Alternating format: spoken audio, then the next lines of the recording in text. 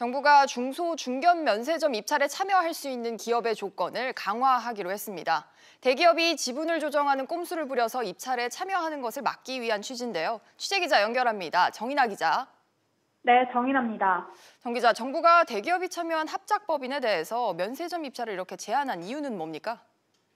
외국계 대기업이 국내 중견 면세점 입찰에 참여하고 또 실제로 선정되는 사례가 있었기 때문입니다. 지난 5월 세계 1위 면세점인 스위스의 듀프리가 중소 중견기업 대상으로 이뤄진 인천공항 입국당 면세점 입찰에 참여했는데요. 국내 합작법인의 지분을 조정하는 방식으로 중견기업 자격을 얻을 수 있었습니다. 듀프리는 2013년 김해공항 면세점 입찰이 있었을 때에도 중견기업 자격으로 참여해 사업자로 선정되기도 했습니다.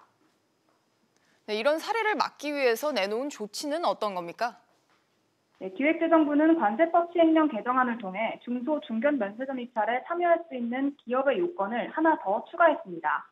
기존에는 자산 1조 원 이상인 대기업이 참여 기업의 지분을 30% 넘게 갖고 있거나 최다 출자자일 경우에만 중견 면세점 입찰을 막았는데요.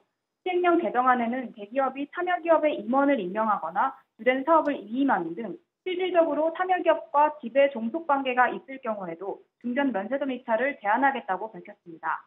개정안은 국무회의 등을 거쳐 8월 중 시행될 예정이며 올해 11월 이후에 있을 신규 시내 면세점 입찰에도 적용될 방침입니다.